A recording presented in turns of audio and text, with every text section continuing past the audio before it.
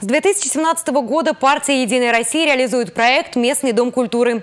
В Чувашии на ремонт и обновление сельских клубов выделили около 40 миллионов рублей из федерального и республиканского бюджетов.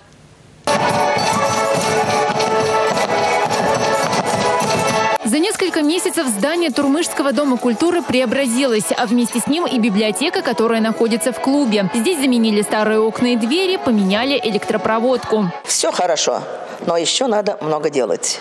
Много, много, и пол надо сделать. И там ремонт тоже, отопление надо на втором этаже делать. Так, в общем, много работы.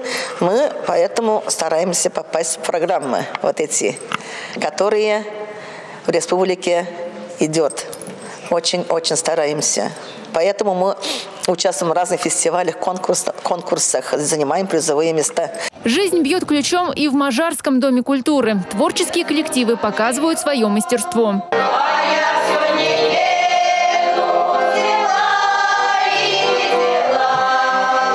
Последние годы именно для Мажарского ДК клуба Дома культуры выделено немало денег.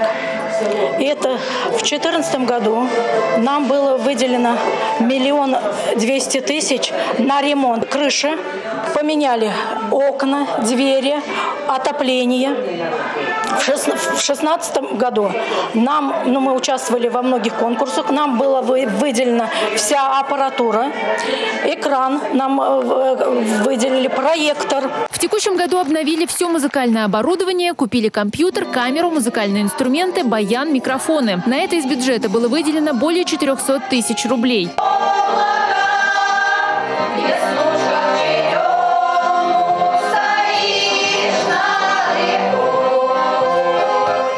А в селе Чутеево построили новый клуб. Свежевыкрашенные стены, высокие потолки, новая сцена. Дом культуры скоро откроет свои двери для артистов и зрителей. И тем и другим здесь есть где развернуться. Новая аппаратура, мебель, костюмы – все уже приобретено.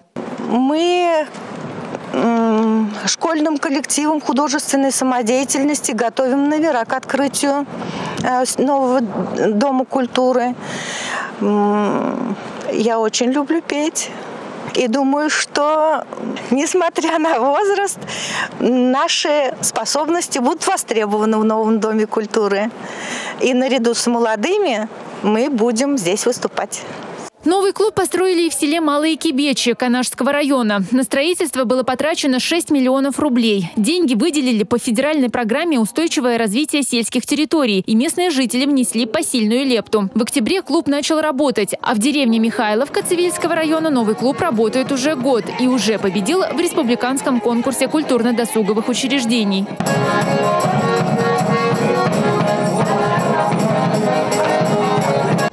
2018 году работа по модернизации и строительству домов культуры в республике будет продолжена. На это предусмотрено около 40 миллионов рублей из федерального и регионального бюджетов. Татьяна Трофимова, Дина Кустова, Сергей Адушкин, Республика.